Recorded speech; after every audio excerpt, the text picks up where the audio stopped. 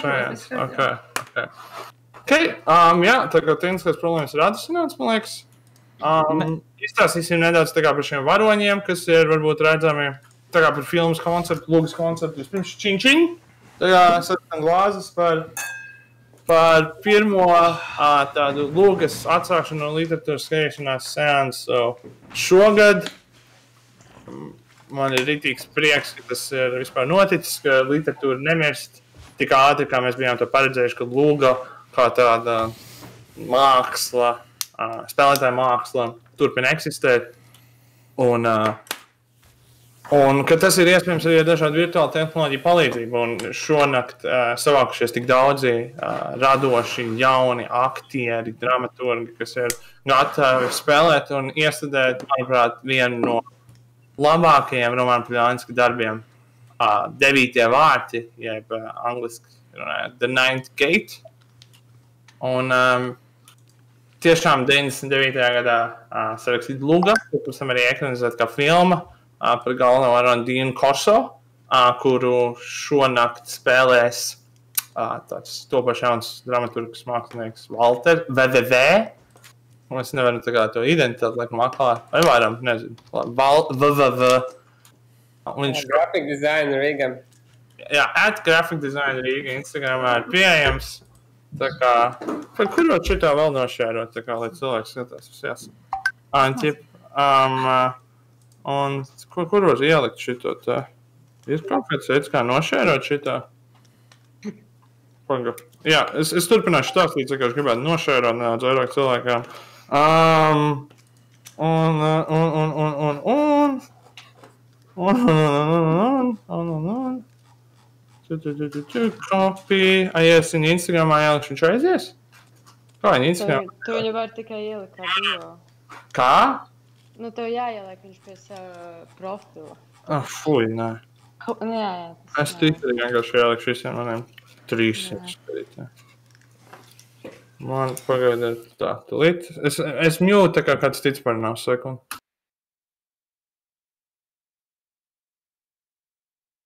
Neviens nevar parunāt?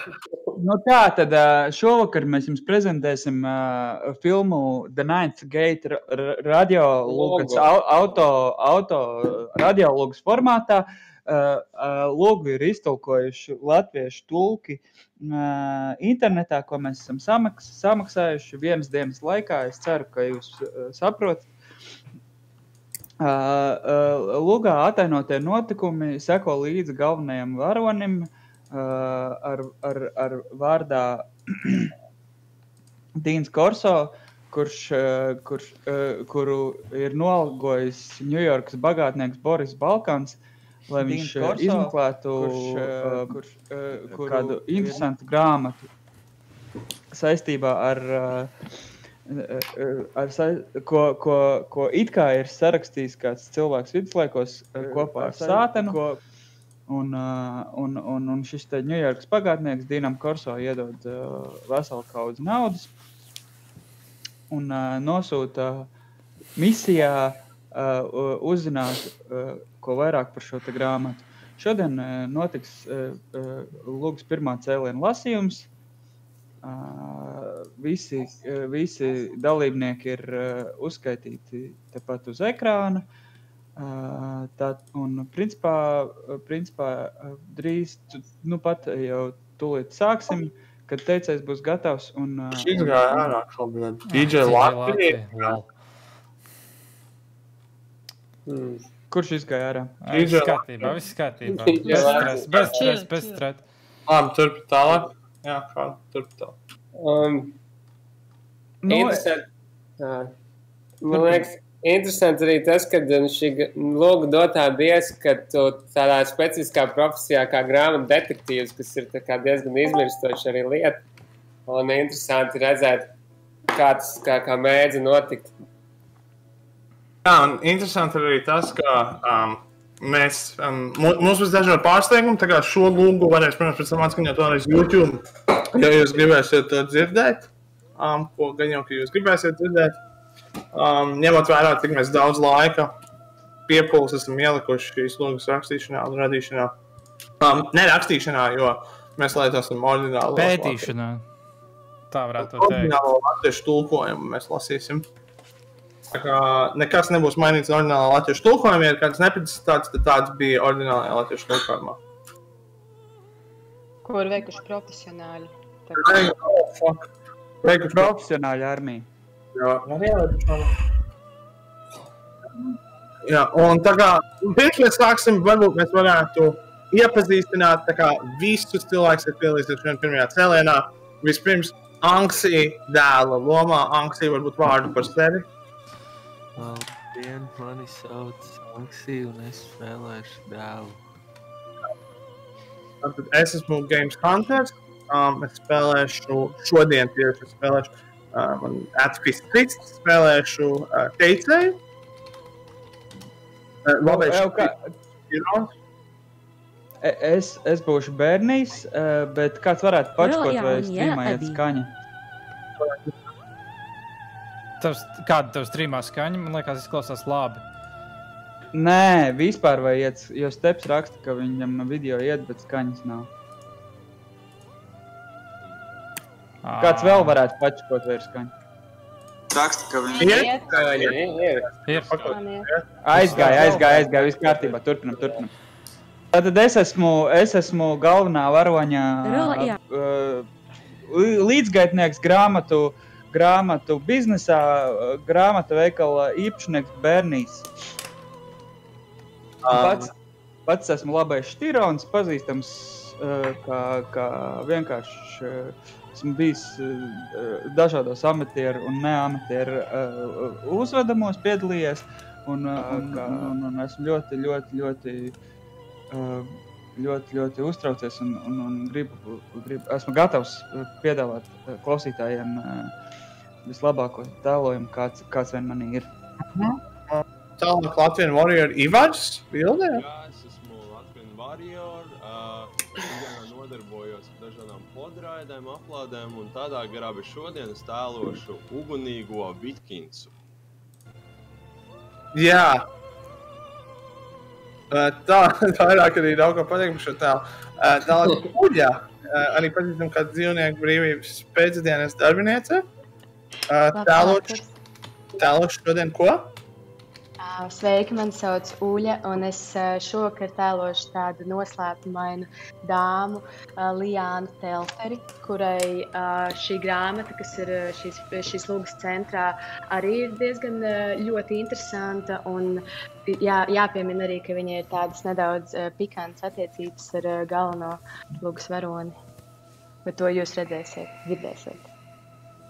Un tālāk mums būs uh, vegānu šļuška. Varbūt tur iepazīstinās sevi. Ā, Labvakar visiem! Ā, Esmu vegānu šļūška, ikdienā nodarbojos ar psiholoģiju, un šodien attēlošu mazu, bet ļoti nozīmīgu lomu kā vēdekla. Jā, tad tālāk mums ir vakar nagla. Jā. Uh, nu, es šodien es esmu pārstāvu koku computer art un grafika dizaina Rīgā. Šī ir mana debija vispār aktieru mākslā, un šodien spēlēšu galveno lomā kā Dīns Korso. Uh, diezgan liela atbildība, bet um, būs pārsteigumi. Jā, uh, sveiki. Uh, esmu Papa Cool. Um, uh, man jau ir bijusi iepriekš pieredze uh, aktieru mākslā. Um, es mācījos Latvijas Kultūras koledžā. Um, apgūstu teātris specializāciju, un šovakar es spēlēšu um, um, filmas antagonistu uh, Boris Balkānu, kurš, um, kā lai saka, um, dažādu, dažādu uh, tādu amorālu motivāciju dēļ uh, vēlas pats uh, um, piesaukt uh, vēlnu. Un, uh, un, uh, ir viens no, viens no uh, filmas narratīvas galvenajiem uh, vadītājiem. Tā ir. Tā kā šeit, eh, ja jūs aizmirstat, tad jūs varat redzēt visas tās filmas galveno. Radiologs galvenais varonis Boris Balkāns, antagonists Dīna Korso, Naglu, to cilvēku, kas glābs un grāmatu detektīvu spēlēs Lijāna Telferis, skandalozo, iespējams, mīlestības interesi, Dīna Korso un Bērnija Onšteina, grāmatnīcas īpašnieku un labu Dīna Korso draugu. Tas viss notiks pirmajā cēlienā. Un, uh, un, uh, Un ko es saku, nu, vienīgais, ko es varētu pateikt, ir, ka mēs vēlreiz varētu sasist tās glāzes kopā un atklāt, profi- atklāt radio sezonu. Yeah! Aiziet.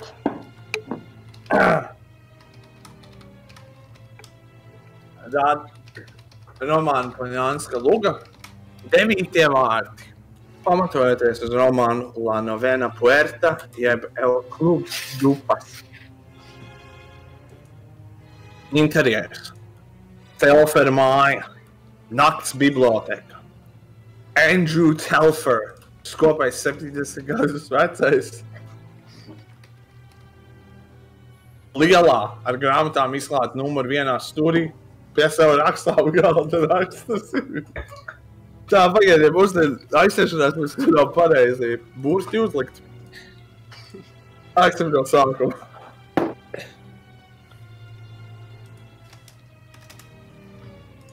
Tā, Tā, pagaidiet, nedārās. Iedzer ūdens glāzi. Hey. Uh, piekāpšanās no. Tas nav pareizais. tad. Tas ir pareizais, viss pareizi. turpini, turpini. Okay, labi. Sāksim no sākuma. Andrew Telfer, skopais 70 gadus vecais, lielā grāmatā izklāta numuru viena stūrī. Pie savu rakstu apgalda raksta zīmīti. No centrālās lustras ir cilpa.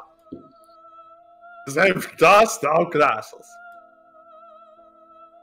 Uz brīdi Telfers paceļ acis. Kļūdaini, kļūdaini viņš skatās uz rakstām galda ierāmēto fotoportretu. Skaista, 30 gadus veca blondīne atgriež skatienu ar mīklainu smaidu. Viņš pārtrauc rakstīt un saliek lapu. Kaut ko ieskrāpē aizmugurē un to atstāja uz galda. Tad viņš iet uz istabas centru un uzkāpj uz krēsla. Viņš ieliek galvu caur tilpu un pievelk to apkārt. Viņš atmet krēslu aizvēl, bet tas nekrīt. Izmestīgi viņš mēģina vēlreiz. Šoreiz krēsls apgāžas. Lūks čīkst, čūpojoties uz āķa, bet tā turas. Apbetuma fragmenti līdz. Telferam kakls nav salauzts, viņš sāk aizrīties. Viņa kājas izpilda konvulsīvu dēļu gaisā tikai 6 solis uz grīdas. Viens no viņa apaviem nokrīt nost.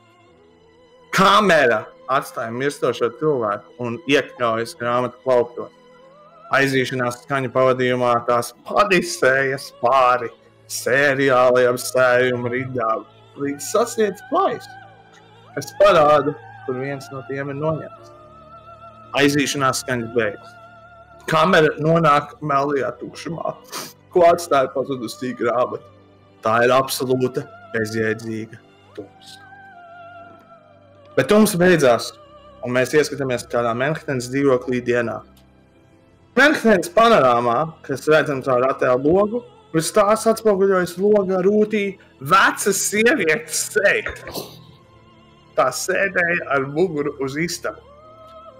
Viņas sejas izteiksme ir bezskaislīga un pašapziņīga. Sa- Savītā mute liecina, ka viņa ir. ir ka viņa ir insulta upuris. Šķiet, ka viņa ir diezgan neiesaistīta darbībā aiz muguras. Iespaidīga kolekcija. Šķiet, jums ir daži ļoti reti izdevumi. Vai tiešām vēlaties tos visus pārdot? Tagad mēs atklājam runātāju Dīnu Korso. Garu liestu, diezgan nekoptu vīrieti 30 gadu vecumā. Brīvs ar tērauda apmalēm, saburzīta veca tvīda jaka, valkātas auklas, nobrāzta brūni Oksfordi. Viņš gadījumā varētu būt noplūcis universitātes pasniedzējs, jo viņa acīs nebūtu iela gudrības. Viņš aizstāja grāmatu plauktā. Blakus viņam stāv vecāks sievietes dēls. Pusmūža vīrietis ar piepūstu sarkanu seju. Viņas vīra meita skatās. Viena roka satver elponi, otrs puses pirksts cītīgi spēlē ar apakšu. Dēls pie klintīm glāsta lielu skotu. It kā tā būtu neatņemama viņa anatomijas sastāvdaļa. Viņa tonis ir pārāk bagāts, lai būtu pakauts. Tēvam viņi vairs neder, vairs nav. arī tagad viņš nav aizgājis. Viņa biblioteka bija viņa paša mazā pasaule. Tagad tā ir tikai sāpīga atmiņa mātei šeit. Dēls noskatās uz vedeklu, kuru lēnām glāsta pīcis kasti, kas tiek iedasta iekšā istabā. Un šī brīdī vedekla paskatās uz Korso un saka, Panāsim sāpīgi. Korso paskatās uz vidiem virs brilles augšdaļas, pēc tam uz vecu sievieti. Ir skaidrs, ka vecas sievietes patiesībā sāpju avots ir viņa izmisīgā vēlme pārvērst nelaiķu vīru biblioteku skaidrā naudā. Korso paņem piezīmju grāmatiņu ar instinktīvu ierastu kustību, pielāgo brilles, ar zīmolu uzskatīt pie piezīmju grāmatiņas. Pēc aptuvenas provizoras saplēses jums šeit ir kolekcija, kura vērtība ir aptuveni 200 tūkstoši dolāru. 200 tūkstoši! Vai arī tur? Mīlis smaida likmeitavu. Vecā sieviete turpina tukši skatīties savu atspūgu logā. Aiz vidus dēls. Nosnēs korso, kurš norāda attiecīgo sēju. Cik daudz jūs domājāt? Hmm, es nevarēju tikt augstāk par četrām grand, četri ar pus virsotnēm. Korso izvelk no pleca summas aploks, tad sāk lobīt dažus rēķinus. Manhattanas dzīvoklī ir koridors arī. Korso stāja viņā virzās um, uz liftu ar audekļa maisu, kas viņam ir nomests no pleca. Viņš smīd pie sevis. Somija ir acīm redzama smagāka nekā bija iepriekš. Lifta durvis atvērs, kad viņš gatavojas nospiest pogu. Viņš gandrīz sadūrās ar brilles, portfeļu nesētāju, trīsdaļīgā uzvalkā un tauriņu ķerto Vitkinu. Kas ir intelektuāli un biznesa vadītāji krustojumi. Tu šeit? Jūs netērējat daudz laika. Sveiks, Vitkin! Tur ir neliela laime. Palīdzi sev. Tu esi grifs, Korso. Kurš nav mūsu biznesā? Jūs gribētu pielikties pie jebko. Korso iebrauc viņam garām liftā. Pagriežas un nosaka viņam plecu somu. Par Jabara Kihoto? Jūs darat, kas gribētu. Negodīgi, pamatīgi negodīgi. Labas medības. Tur es aizvestu Vitkinu. Sašķitu šajā sejā. Mēs nonākam uz ielas, kur redzam grāmatnīcu. Uz zīmes ir rakstīts aizvērts.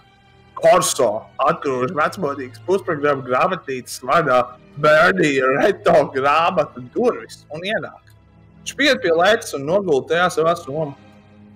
Vitkins man vienkārši piezvanīja, viņš ļauj jāstīs. Korso pastāsta apkārt. Valsts nāca no desmit pēdām uz augšu un trīs grāmatu skati. Bernie Feldman, vīrietis ap korso vecumu ar tumšiem cirtēniem matiem, kas atkāpjas pie tēmkiem un atrodas spirālī kāpj augšdaļā. Kāda ir viņa problēma? Viņš saka, ka jūs esat divkārši naudas izrakšanas nieks. Viņš saka, ka viņam šī izpārdošana bija piesaistīta, un tagad jūs nomocījāt viņu piķi. Viņam vajadzētu ātrāk tikt prom. Veidi kam tiesneši, kad Bernijs sāk nolaisties. Korso pāriet pie sienas skapja un atver to. Gaismas laikā parādās pudeļu un glāņšu sortiments. Vai drīkst? Jūsu vērtējums pārsniedz izredzes, un tas izsita tos cilvēkus izsitumos. Viņi tagad divreiz jautā, ko grāmatas ir vērts. Korso joprojām smīnēdams ielai savu skotu, un Bernijs smejoties sasniedz zemi. Viņš runā par tiesāšanos ar jums. Nu, atzīsimies, jūs viņu ieskrūvējāt. Tā to sauc. Es zinu, kā to sauc. Bernijs pienāk tuvāk. Viņš arī saka, ka jūs nosņaucāt Donu Kui. Rīt viņš pārtrauc darbu, kad Korso ražo četru kihota sējumus. Ieliec, lai tos pārbaudītu un atzinīgi filko. Jā, Bradon Kihote, 1780. gads, četri sēnes. Fantastiski. Sanau, bičs, tu esi labākais biznesā. Noteikti. Un visdārgākais. Te jūsu klients, šveicietis, viņu joprojām interesē izdevums. Bērnī pārsmējas un pēc tam pievērš uzmanību tām grāmatām. protams, bet Vitkins izdos drošinātāju. E, es viņam teicu, ka man nav nekāda sakara ar šo operāciju. Kāds atgriežas kaut kur vienā elpā? Izvēlēties samazīto cigaretes no virsmas kameras, viņš to iemāž mutē un aizdedzina. Nekas, izņemot jūs 10%. 20. Šveicietis ir mans klients, atcerieties. Nav darījuma. 15. Manu bērnu dēļ. Jums tāda nav. Es vēl esmu jauns, dodiet man laiku. Desmit. Balkānu ēka, kas pēkšņi parādās aiz debesīm, pieder cilvēkam, kuru sauc Balkāns. Ir mīkrēstis. Taksometrs piestāja pie bagātīgās ēkas centra. No tās izkāpa tikko uzvarējušais Korso un izvairās no neatlaidīga ubaga un ienāk iekšā ēkā. Zīme virs ieejas skan Balkan Publications. Mēs esam Balkānu ēkā. Mēs esam vestibilā un ārā vēl joprojām ir mīkrēstis. Korso pamāja drošības aizsardzītājam pie rakstām galda. Viņš dod priekšroku pāri vestibilam līdz durvīm aizmugurē. Blakus tam stāv uz molberta piestiprināts paziņojums. Dēmoni un viduslaiku literatūra. Boris Balkāns, filozofijas doktors.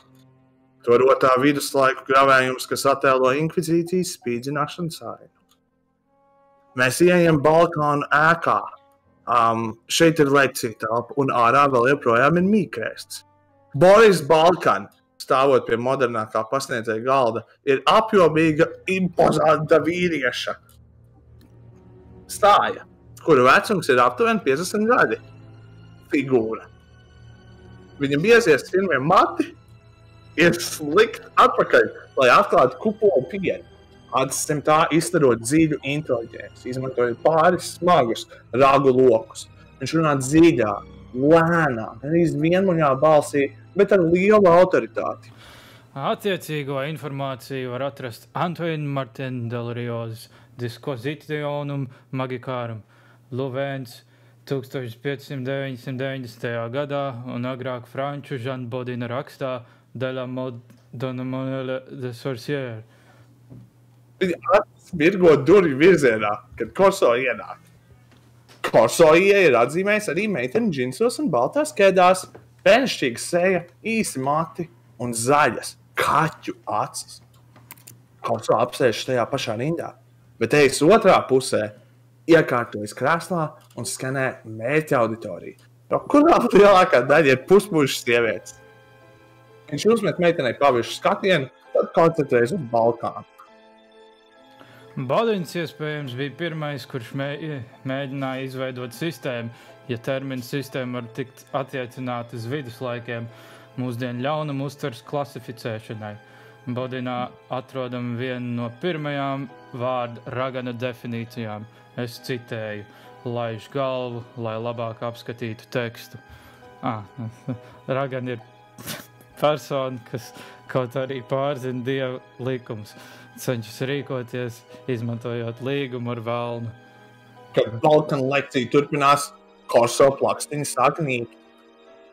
Mēs pavaramies pāri metru auditorijas stējām. Starp citu, meitene joprojām slēpta vēro Korso, tāpat kā sienā. Balkāna balss, tā kā bezpilota lidmašīna izzūd. Mēs atrodamies Balkāna būvniecībā. Um, tā ir laicīga telpa, un tagad ir naktis. Koso ir dziļi iemīļots. Es redzu, ka jums patika mana mazā saruna, Mr. Korso. Koso dod sākumu. Viņš atrada, viņam vajadzīgs brīdis, varbūt divas brīdis, lai koncentrētos uz Balkānu, kurš stāv pār viņu. Skatoties apkārt caur brillēm, ar tērauda apmalēm, viņš redz, ka lekcija ir beigusies. Pēdējie mērķi auditorijā iesniedz pieteikumu. Mēs ieskatāmies meitenē, veicot viņas izvēli. Vai es šņācu? Patīkam jums jautāt. Nē, ne tas, ka es pamanīju. Mēs iesim. Un augstu un bezskaislīgi gājas uz žestulē pie durvīm. Korso piecas kājās. Um, un tālāk Balkāna ēkā izrādās, ka ir veikals, nakts veikals, uh, kurā Balkāna ātri staigā pa vestibili. Līdz viņš nonāk uh, pie liftiem, Turpat, kur ir korso, un viņš denās viņam pakaļ ar papēžiem. Viņi atstāja aizraujošu sarunu elpu no auditorijas locekļiem, kuri joprojām apspriež lekciju. Vai tu neguli naktis? Kā mazulis. Dīvaini. Es būtu sadarījis ar Gutenberga bībeļu stiprinājumu, kuru jūs pusi nakts pavadāt no, nomizotām nacīm. Jūs esat viens no tiem liesajiem, izsalkošajiem, izsalkošajiem nemierīgajiem tipiem, kas izsauc Jūliju Cēzaru vēju. Vīrieši, kur durtu draugiem mugurā. Viņi sasniedz liftu beidzot. Balkāns nospiež pogu un vēršas pie Korso, kurš žāvājas. Nē, man ir aizdoms, ka jums ir daudz draugu, vai ne, Korsokungs? Jūsu veids rati.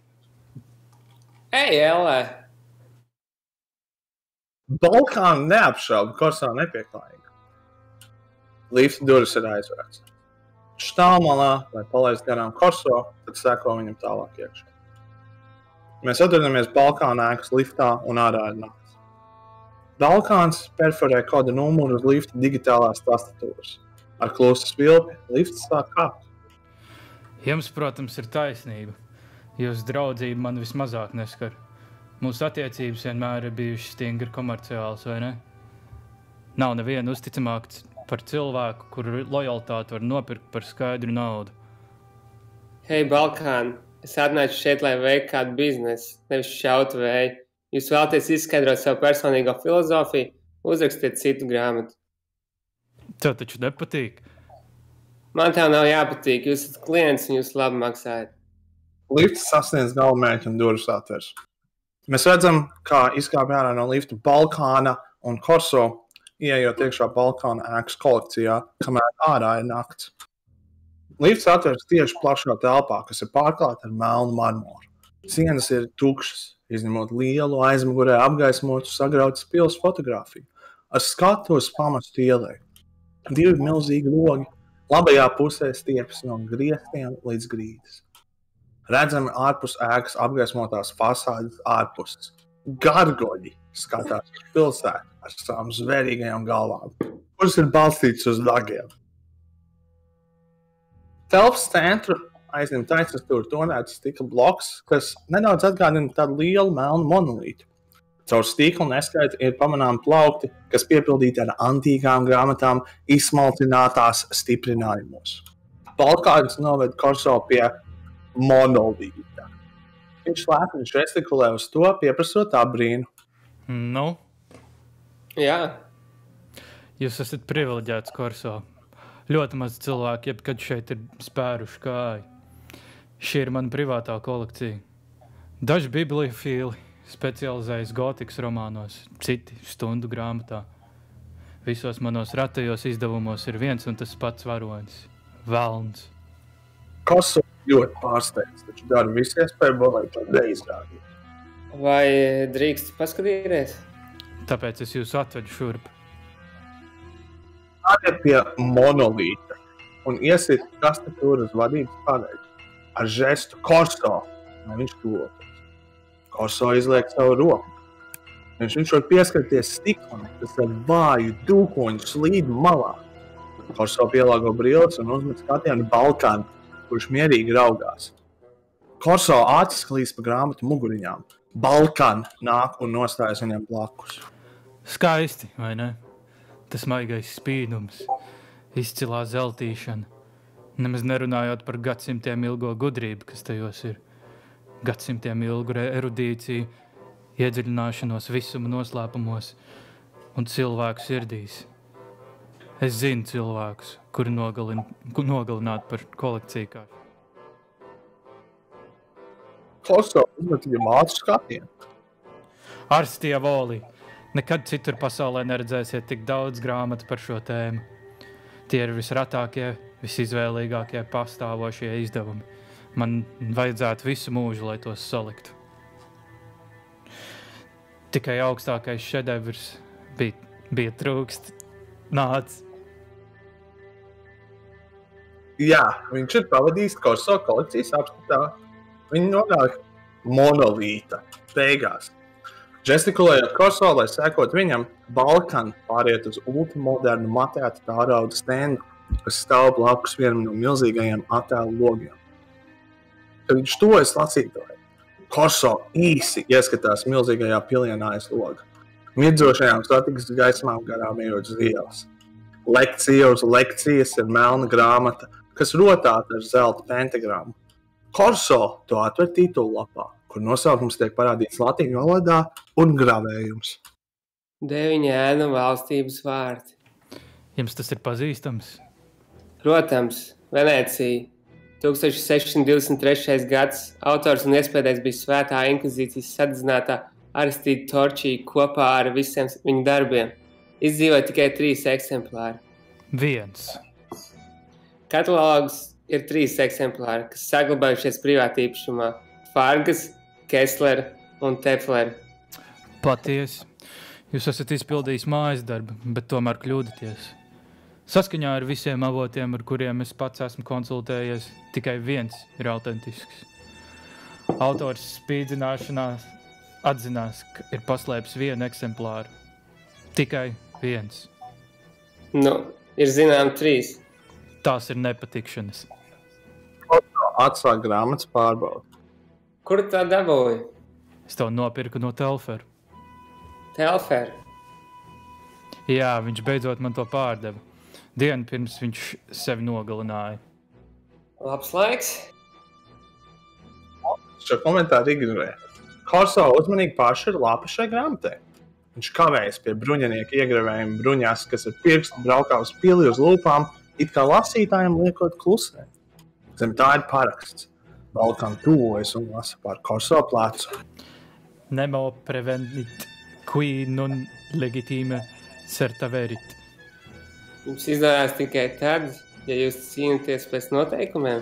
Vairāk vai mazāk. Vai esat kādreiz dzirdējuši par Delmolenikonu? Dzirdēju, jā, mīts vai ne? Kāda šausminoša grāmata, kur domājams ir sarakstījis pats sātans. Nav mīta. Šī grāmata pastāvēja. Torčija to faktiski ieguva. Atgriežas pie loga ar skatu uz milzīgu pilienu. Skatoties uz pilienu, viņš turpina. Gravējums, kuru jūs tagad apbrīnojat, pielāgoja Torčija no Delomelanikona. Viņi ir sātaniskas mīklas forma. Pareizi interpretējot ar iekšējo informāciju, viņa personīgi oriģināla teksta un pietiek, lai uzburtu atzīst tumsu. Tu nesaki. Korso turpina pāršķistīt lapas. Vai tu esi reliģijos cilvēks, Korso? Es domāju, vai jūs ticat pārdabiskajam? Es ticu savam procentam. Es arī uzskatu, ka grāmatas noveco un sabrūk tāpat kā mēs visi. Vai jums nav reibonis tur stāvot? Hans turpina lūkoties naktas pilsētvidē. Tagad Korso maina taktiku. Ko pie vēlna tu gribi no manas Balkāna? Tas ir logs un saskars ar Korso. Es gribu, lai jūs dodotos, dotos uz Eiropu un spēlētu detektīvu. Pārējie divi eksemplāri atrodas Portugālē un Francijā. Jums jāatrod veids, kā tos salīdzināt ar manējiem. Katra lapuse, katrs gravējums, iesējums, viss. Esmu pārliecināts, ka tikai viens var būt autentisks, un es vēlos uzzināt, kurš tas ir. Varētu būt dārgs ceļojums. Balkāns no kabatas paņem salocītu čeku un to pasniedz Korso, kurš to nepārbaudīti ieslidina savā krūšu kabatā. Tas ir, lai jūs sāktu. Pavadiet nepieciešamo. Ko darīt, ja es uzskatu, ka jūsu eksemplārs ir viltojums? Balkāns brīdi augsti skatās uz Korso. Tas ir diezgan uz kārtēm. Šķiet, ka Korso ir tikai viegli pārsteigts. Viņš atkal ieskatās grāmatā, ieklausās papīra kvalitātē, pieliek ausi pie lapusēm un rībēdams ar īkšķi. Tiešām, šķiet, ka tā nav. Pat papīrs izklausās košeriski. Pat ja tajā var būt kaut kas nepareizs. Turpiniet grāmatas pārbaudi. Viņš nezina, kāpēc ironiski pasmaida. Jūs domājat, ka vēlams neparādīsies? Viņš izslēdz grāmatu un aizstāja tos pults. Neesiet nekaunīgi. Debesīs un zemē ir vairāk lietu, nekā ir sapņots jūsu filozofijā. Hamats ticēja spokiem, nevis dēmoniem. Ja visas trīs kopijas izrādīsies viltas vai nepilnīgas, jūsu darbs tiks paveikts. No otras puses, ja kāds no viņiem izrādīsies īsts, es jūs finansēšu tālāk. Kors jau skatās uz viņu, bet tad atlūko čeku un uzmet acis summai. Būtiskai summai no tā, kā viņš paceļ uzvedas. Es gribēju, lai jūs to saņemat man par katru cenu. Nekad neuztraucieties, kā. Neskatoties uz to, cik tas kā nelikumīgi. Tā nebūtu pirmā reize, kad es ka, kad izdarītu kaut ko nelikumīgu. Nav tik nelikumīgi. Tādējādi čekas lielums. Dariet labu darbu, un es to dubultošu. Viņš paņem deviņus vārtus un izstiep to. Pēc brīža vilcināšanās Korso nomaina čeku kabatā un paņem grāmatu. Esi uzmanīgs, Korso. Ko tu ar to domā? Ar šo? Vienkārši esiet uzmanīgs. Korso dzīvoklis un ir nakts. Maza izmēra virtuvīte. Korso ar vienu roku apviet skotu. Viņš izmanto otru, lai izņemtu TV vakariņas no leduskapa saldētavas un ievietot tās mikroviņu krāsnī. Viņš aizved durvis, iestata taimeri un iztaigā viesistabā. Drūms bakalaura spilventiņš, nav attēlu, rotājumu, fotografiju. Tikai grāmatas uz katru pieejamā plaukta un virsmas. Pie vienas sienas rakstām galds ar datoru, uz grīdas blakus rakstām galdam kvarso noplukušā audekla soma. Uz paša rakstām galda deviņi vārdi. Koso pāriet pie rakstām galda. Viņš ilgu laiku skatās lejā uz grāmatu, meditatīvi, balkojot savu skotu. Koso pāriet pie nedēļlaikot skota glāzi. Viņš ar vienu roku atver grāmatu un dīkstāvē pāršķērso dažas lapus, ietur pauzi pie bruņinieka ieguvējuma bruņojumā, kurš brauc uz pili. Viņš lēnām move in, līdz ekrāns ir piepildīts ar bruņinieka ievadīšanu ar mīklaini paceltu pirkstu pie lūpām. Mēs redzam lielas debesis, un tur ir Telfera māja, kas ir zem debesīm, sēdze. Tā ir Telfera biblioteka, kas ir dienas gaismā. Koso šeit ierodas, viņam ir audekla somas pleca, stāv grēzni mēbelēts viesistabas vidū. Viņš. Dekors, kurā ir smaidošs Andrew Telfera portrets, ir ārkārtīgi bagātīgs. Kad durvis atveras, Korso skatās augšup uz portretu. Viņš pagriežas, lai redzētu Liānu Telferu. Uz sliekšņa ar vizītkarti rokā. Viņa novērtējums par viņas izskatu ir acīm redzams. Liāna, kuras fotoportretu mēs starp citu redzējām pirmajā sižetā, uh, ir ļoti seksīga, 30 sievišķīga blondīna ar pienainu ādu un klasisku figūru, kuras dāsnās līknes nebūtu nav slēpušas līdz īpaši elegantais melnais kostīms. Viņi dod korso kārtējo reizi, tad ienāk. Un durvis aizvērts pašas no sevis. Telfers kundze. Pastāv vizītkartē korso. Savā. Dīns Korso, atvainojiet, ka jums sagādā grūtības šādā laikā. Liana pienāk klāt un apsēžas uz dīvāna. Vienlaikus virzot kursā pretējā krēslā, kas vērts pret to uz kafijas galdiņa. Viņi noliek viņa karti, sakrusto savas jaukās kājas un gaida. Korso apsēžas ar savu ubagu starp kājām. Atverot to, viņš producē deviņus vārdus. Liāna ieraugot šos deviņus vārdus, deviņus sastingst. Būtu ļoti noderīgi, kundze, ja jūs varētu man pateikt, ko jūs zinat par šo grāmatu. Viņš izstiep, bet izlaicīgi pauzes Liāna lēnām ķeras pie korso grāmatas. Viņa nejauši to atver, pāršķir lapu vai divas, un viņa runā ar nelielu franču valodas akcentu. Vai šī nav viena no manas vīra grāmatām? Pa labi. Tas bija viņa kolekcijā vēl pavisam nesen. Viņš to pārdeva manam klientam. Mēģina to autentificēt. Viņš to pārdeva, jūs sakāt, cik dīvaini. Tas bija viens no viņa dārgākajiem īpašumiem. Viņš nekad nav pieminējis pārdošanu. Lianna daļai kavēs atbildēt, taču kaut kā pamanīt vilcināšanās. Nē, man tas ir jaunums. Kas to nopirka? privāts kolekcionārs. Vai es varu zināt viņa vārdu? Baidos, ka tas ir konfidenciāli. Pieņemu, ka viņam ir pārdošanas rēķins. Nekāda problēma tur nav. Vai tas ir jūsu darbs, autentificējot retas grāmatas? Un viņa izsakošana. Jūs esat grāmatu detektīvs. Hmm. It kā. Vai atcerieties, kad un kur jūs vīrs iegādājās šo grāmatu? Spānijā. Mēs atvaļinājām Telodo. Andrew ļoti aizrāvās. Samaksāja par to lielu naudu. Viņš bija fanātisks kolekcionārs. Tāpēc es savācos. Jā, nogulda The Nine Gates uz kafijas galda un patris. Es tev parādīšu. Kosovs pats ir tāpat. Tad viņam rodas doma, ātri paņemot deviņus vārdus un viņa somu, viņš varētu salikt viens otru, sekojams vidēniem gurniem līdz durvīm istabas tālākajā galā, kuras viņa atrada. Skaties, viņa iet uz priekšu bibliotekā, kurā Edgars telpiņš pakārā. Kosto joprojām vēro viņas telpu aizmugures skatu. Lielisks! Negribīgi viņš vēl kāds sprodo lijā un apsako pārpildītos plauktus. Tiešām lielisks! Pārbaudīt grāmatu plauktu. Garām ejot, viņš uzved skatienu lustrē, kas joprojām nedaudz šķība karājas. Agrāk Andrew šeit pavadīja ļoti daudz stundas. Par daudz.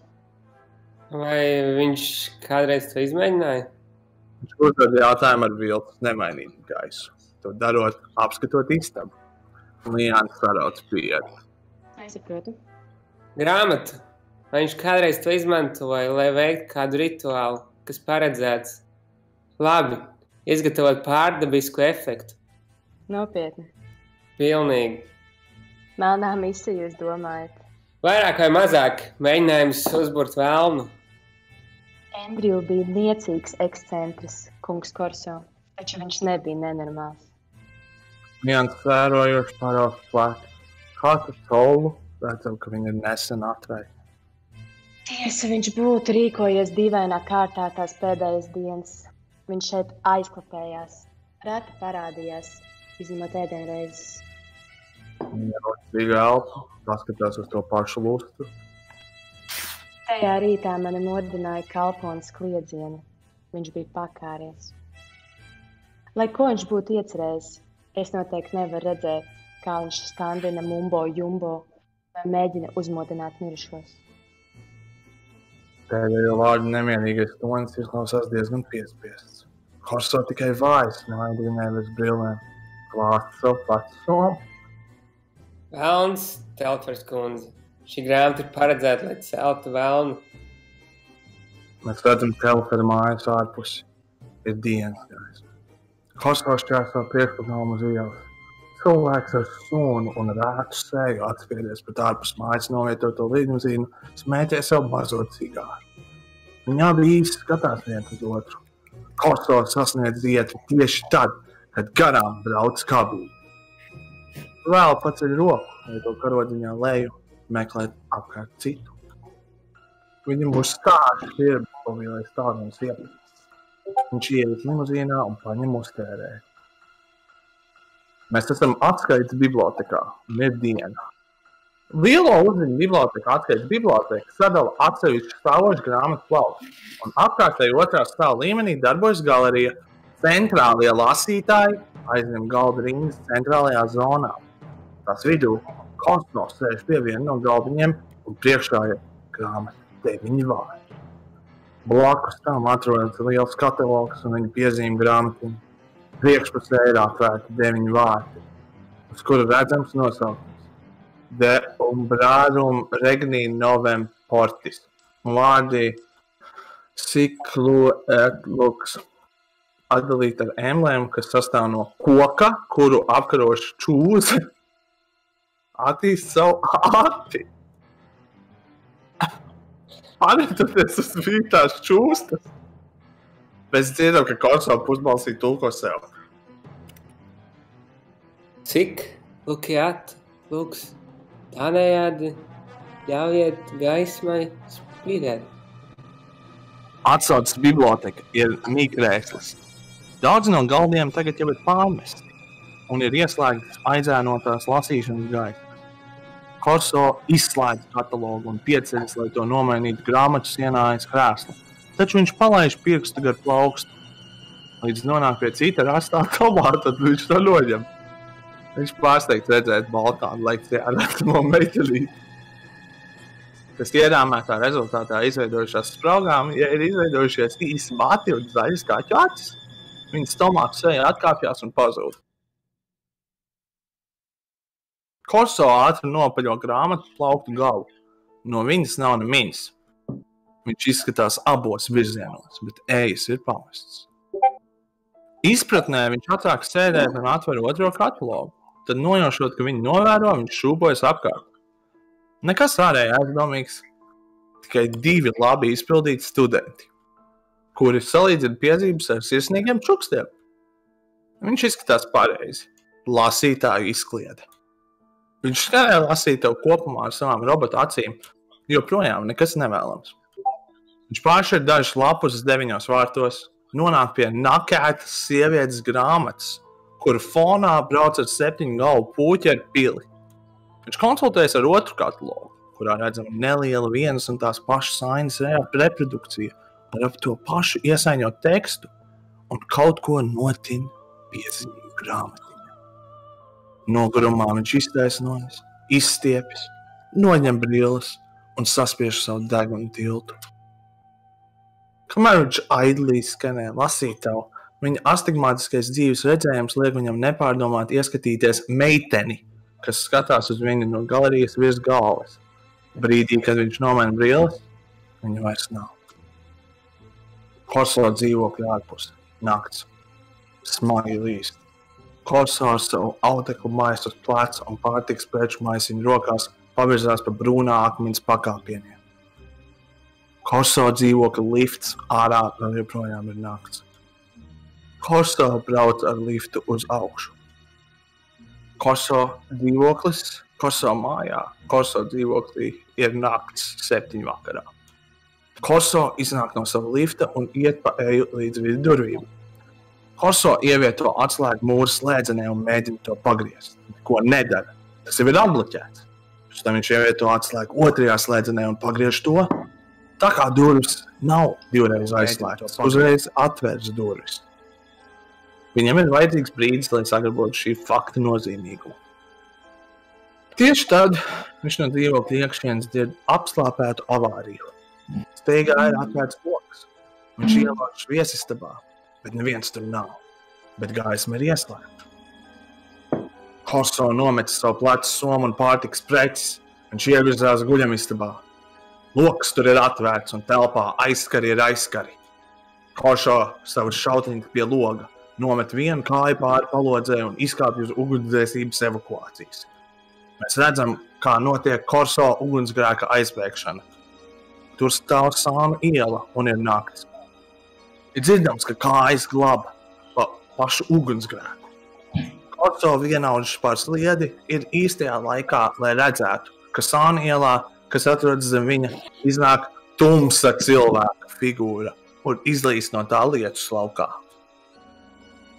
Hei, tu! Viņš padodas un kāpj atkal iekšā. Mēs redzam, ka Korso dzīvo. Ārā ir naktis. Korso skanēja dzīvojamo istabu. Vienīgā tūlītējā iebraucēja klātbūtnes pazīme ir tā, ka krēsls ir aizvilkts prom no rakstām galda un viena no atvilknēm ir atvērta. Korso nospiež krēslu atpakaļ vietā un aizver atvilkt. Paiet nakts, viss ir mājīgi, taču mēs nonākam bērnīgi grāmatnīcā nākamajā dienā. Oho! Deviņi vārti atrodas uz bērnīgi galda. Viņš ar godību griež lapas ar korso pie elpoņa. Kucis dēls, kur tu to dabūji? Balkāni. Viņš vēlās, lai es to izpētu. Balkānam pieder deviņi vārti? Nesen ieguva no vēlā žēlotāja Andrew Telfera. Uzticieties Balkāniem. Kāpēc viņam tu esi vajadzīgs? Es nedomāju, ka viņš plāno to pārdot. Viņš vēlas, lai es to salīdzinu ar pārējiem diviem saglabājušiem eksemplāriem - Portugālē un Francijā. Es esmu ceļā uz Eiropu. Salīdzināt? Jā, Tikai viens no trim ir autentisks, viņš saka. Nu, šis izskatās pietiekami īsts. Jābūt miljonu vērtībā. Jēzus, parūpēties par to. Tāpēc es esmu šeit. Man vajag, lai tu to atlicini man. Es sāku redzēt lietas. Bērni izskatās uz korso. Patīk, kā? Neaicināti apmeklētāji, nepazīstams sejas. Es neusticos nevienam, pat ne Balkānam. Padomājiet, es jums pat neusticos. Bērni reģistrē pieķeršanās un cīnismu sajaukumu. Tas nozīmē, draugs, jūs zināt, ka es nekad jūs nepieskrūvētu bez sasodīta laba iemesla. Nauda, sievietes vai biznesa, jebkas cits, jūs varat atpūsties. Korso uzsit grāmatā rādītāju pirkstu. Par to jūs atbildēsiet ar savām bumbām, bērni. Bērnīs vēl aizstāv savas bumbas. Protams, cilvēks, protams, jūs varat mani kastrēt personīgi. Es to paņemšu ceļā uz lidostu. Nekāda problēma. Turpina porēties par grāmatu, pāršķirt citu lapu, un bērnīs skaļi lasa. Tikums ir uzvarēts, vai ne? Šie gravējumi ir drausmīgi. Vai šausminoši, kurš tu kuram? Bērnī kavējas ar savu galvu, taču viņš smaida sev ar burvības gaisu. Skaisti, vienkārši skaisti. Tā saucamās passers-by kājas, kas ir redzamas caur grāmatnīcas pusprogrammu lokiem, bet tām pātrinoties pātrinās un sāka līt. Cilvēka kāja pārstumš biks apstājas. Mazs cigāra dibens nokrīt uz ietves, taču kājas iet tālāk. Divi parasti baltie čībās parādās redzeslokā. Uzkāpj uz melnā dibena un nodzēš to. Mēs atrodamies Korso dzīvoklī, un ir nakts. Korso atrodas savā guļamistamā un iesaiņo dažus apģērba gabalus un tolītas piedarums nelielā Samsonite firmas čemodānā, kas atrodas atvērts uz gultas. Zvana durvis zvans. Tikai daļēji izbijies. Korso iztaisnojas, izgāž stājā zēķis uz gultas un iziet vestibilā. Viņš skatās caur spiegu caurumu. Liana Telfers stāv laukā. Korso uz brīdi apstājas. Nopietni domādams, atver durvis. Vai drīkst ienākt?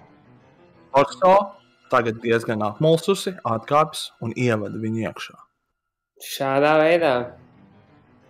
Tad viņa savā dzīvojamā istabā, un Lians sāk atpūgāt mēteli. Ļaujiet man. Palīdz viņai nostint mēteli un kārtīgi pavalkt to virskrāstu. Viņa ir tērpa, lai nogalinātu meldā, kas devē piegriezto kokteļu pleitā. Paldies! Apsēdieties, vai ne? Jā, gracioza nogrimst uz dīvāna. To darot, uzņemot savu vecpuļas dzīvokļu dekoru. Esmu ieradusies sarunāties par biznesu. Lieliski! Pēdējā laikā viss runā ar mani. Lijāna paņem no somiņas slaidot zelta cigarešu maciņu, izdala vienu melno krievu un aizdeļ. Korsovs skatās uz viņu, absorbējot figūras līnijas. Slaidās Lijānas kājas ietiņas caurspīdīgās melnās zīdes. Es nesaprotu, Telfras kundze. Grāmata nav manās rokās. Viņa apsēžas, parādot savas lieliskās kājas, lai iegūtu vēl labāku labumu. Jūs strādājat par naudu, es to ņemu. Kas vēl? Man ir ļoti daudz naudas. Man prieks par tevi. Jūs varētu sarīkot zādzību. Esmu pārliecināts, ka jūsu klients ir labi apdrošināts. Es esmu profesionāls kundze. Jūs esat profesionāls algotnis. Algotņi strādā pie augstākā solītāja. Es iztiku. Es varētu iemest prēmiju. Tas ir noticis pirms kaut kur. Es zinu, filmās. Un viņas zeķes augšdaļā viņai bija automātika. Korso! Aburts vēro, ka viņa lēnām, ļoti lēnām bīdas svārkus augšstilpā, lai atklātu krēmīgu maisījumu starp zēķu virsotnēm un melno mežģīņu prievītas jostu. Nav automātiski. Lēni viņi izlīdzina svārkus virs augšstilpiem. Korso norī smagi. Viņš pieceļas un dodas uz savu dzērienu stūri. Plauktu, uz kura ir pudeles un glāzes. Taču pār viņu plecu viņš saka. Vai vēlaties vienu? Kāpēc ne? Korso dažus skotus aplaist divos glāzītēs un pārdes viņus. Lijāna mirkli sēž nekustīgi skatītamās uz viņu. Tad ļoti lēni viņa izslāpē cigareti, izstiepj to pašu roku un samīļo viņa kājstarpi. Korso, kā moliem apgrūtinot abas rokas, tur var stāvēt tikai kā putns, kuru hipnotizē čūska. Viņa āda mābolu vēl rēto bobs vēl. Turot skatienu, Lijāna atvelk roku un paceļas. Tagad viņi ir tikai dažu centimetru attālumā. Viņa paņem vienu no glāzītēm un sasit to pēc korso, pēc tam to iztukšo. Korso savu veidu transā rīkojas tieši tāpat. Ļoti apzināti Lijāna atbrīvo viņu no glāzes un ar savu noliek to uz galvu. Tad saspiedusi sejas starp viņas rokām, viņa turpina ēst viņu dzīvi. Korso atbild. Viņš uzvelk svārkus. Viņa ķeras pie rāvējas slēdzēja un raustas pie tā. Viņš nes viņu atpakaļ un uz leju un uz dīvānu. Viņa ķermenis saplūst kā milzīga masa. Kleita paslīd lejup pa Lijānas kreiso plecu, atklājot nelielu tetovējumu čūskas formā, kas aprīk savu asti. Korsā dzīvoklī pienāk naktis. O, Lijāna! Viņas rokas sniedz pārspīdai pēc koso audekļa maisa. Viņas roka tās satur maisiņā, pēc tam to apgriež. Izšķākst saturu. Pāris lakijas paciņas, piezīme grāmatiņa, pilna aploksne ar rēķiniem, nekas jauns. Šveices armijas nāzes, eksperta palielināmais stīkls, daži zīmuļi, kaut kas tālāk. Mēs atklājam Korso un Lijāna uz grīdas abi. Viņa drēbes sabojājušās. Korso guļ atpakaļ, joprojām melsojot un svīstot no piepūles. Lijāna sēž. Nu, kur tas ir? Kur ir kas? Nenodarbojies ar mani korso. Es domāju, ka to mēs arī darījām. Lijāna acis paliek šaurs. Tad ar dzīvnieku raudu viņa ar nagiem un zobiem iet pēc viņas sejas. Taču Korso īstajā laikā novērš galvu un pakasās kājās, uzvelkot savas bikses. Lijāna blakus sevi ar niknumu lido viņam ar abām izstieptajām rokām kā nagi. Viņam izdodas sagrābt plaustas locītājus un imobilizēt, tāpēc viņi iegremdē savus zobus krūtīs. Ar mokušu kliedzienu Korso atbrīvo plauktas savās locītavās, tad saspiež savas krūtis un satricina muguru. Diez vai cienīgi tā rīkoties, jo viņi klabina bikses, kas noslīdējušas ap potītēm. Lijāna mežonīgi meklē kaut kādu ieroci, taču ierauga klasisku skota pudeli un satver to aiz kakla. Korso viena roka turot bikses pie pustmasta, otra pacelt lūkšanā, nāk pretī. Hei, skaties, es saprātīgs! Nekavējoties, Lijāna paceļ pudeli ar skotu un sasit to virs galvas. Korso dzīvoklis taču ir nakts. Korso atgūst samaņu. Ingveri jūt sāpošo galvu. Viņam pa seju ir noplūdušas asins. Viņš apseko telpu, kas tagad ir mīta hausā un acīm redzami ir izpostīta. Viņš iet vannas istabā un pārbauda savu spogulī, paņem rokas vielu un ingverā notīra galvu sādu. Turot vielu pie galvas, viņš atgriežas viesistabā, kur viņš paceļ tālruni un izdur numuru. Mēs dzirdam ierakstītu paziņojumu. Sveiki! Ah, ah. Sveiki! Šis ir bērnīja retās grāmatas. Es šobrīd neesmu pieejams. Ja vēlaties atstāt ziņojumu, lūdzu, runājiet pēc pīkstiena. Bērnī, tu tur? Bērnīs, pacelt! Nav atbildes. Viņš nomaina uztvērēju. Bērnīga grāmatnīca nakts. Korso ar savu somu uz pleca slēpjas durvju ēlē pāri ielai no grāmatnīcas. Vieta izskatās klusa un pamesta, taču blāzs spīdums norāda, ka kaut kur iekšpusē jābūt iedegtai gaismai. Korso aizver durvju aļu un steidzās pāri ielai. Viņš iet pa kāpnēm līdz durvīm un izmēģina roku. Durvis atveras. Bērnīgā grāmatnīcā ieejot, deg tikai bērnīga galda gaisma. no paša bēdīja tāda bija. Korso uzmanīgi klausās. Pavērs augšu spirāli veida kāpņa augšpusē, kas atrodas ēnā un zemā balsī zvana. Bērnīs. Nav atbildes. Viņš klausās vēl dārgi.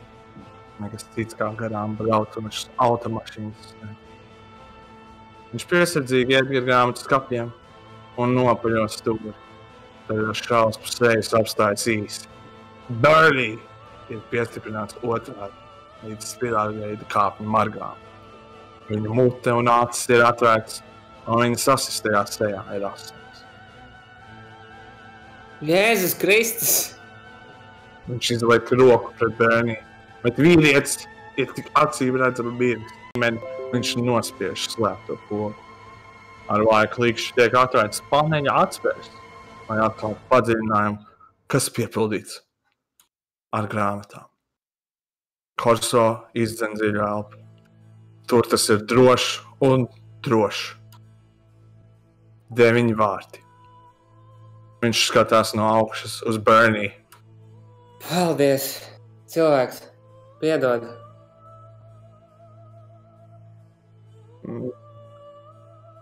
Nu, lidmašīna un pienāk diena. Korso ieslodzīts logas sēdeklī ar garstāvokli skatās uz dažām garām ejošām mākoņu pilīm. Saule riet. Spānijas lidosta nakts. Korso ir aizlaidies. Spilgti izgaismotā ierašanās zālē tranzītā braucē ar pasažieriem Korso. Viņš valkājot virsjaku un nesājot savu čemodānu. Ar audeklu maisos pleca vītņojas tiem cauri. Noguris un neskūts, viņš ar abstraktu sejas izteiksmi skatās tieši uz priekšu, pielāgos tavas brīles. Toledo iela, alleyway, diena.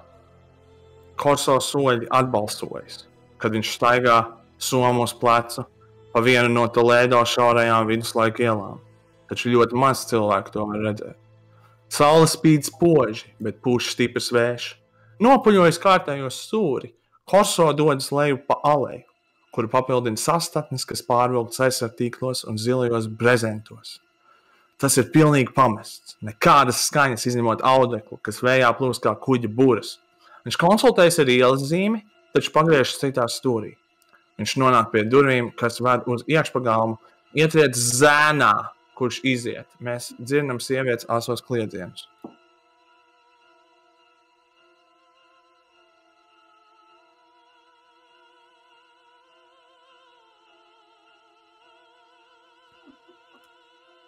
Tad uh, pēc šo kliedzienu izdzirdēšanas uh, vienā pagalma stūrī viņš ved sevi uz leju uz pagrabam. Koso nolaižas viņos un apstājas pie durvīm. Netīrs lokus blakus tam kalpo, lai parādītu dažas vecas grāmatas un reliģiskas izrunas. Uz durvīm ir uzraksts. Hermanos Seniza Restauración de Libros. Zem tā parlē francē un angļu valoda. Horso atver durvis, kas čīkst. Pirmās daļas beigas.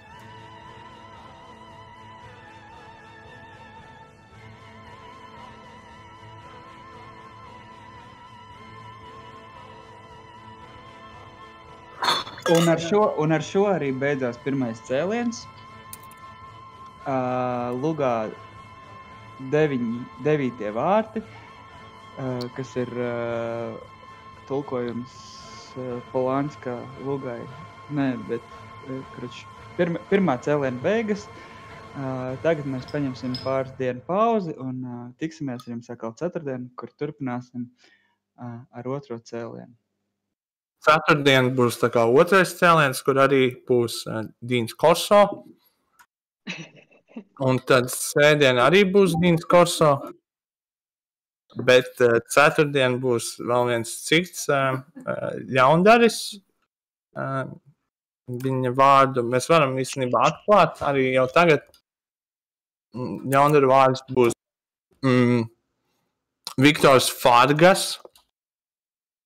Un uh, arī parādīsies uh, jauni aktieri, um, ieskaitot konseržē un grūberu, kā arī sirmu. Meitene būs arī meitene. Būs arī meitene un Dīns Korso. Paldies, ka skatījāties, uh, kla klaus klausījāties. Lūgas devītie vārti lasījām. Visu labi. Visu labi, paldies. Visu labi, paldies. Paldies jums! Paldies! Paldies jums! Tiekamies ceturtdien!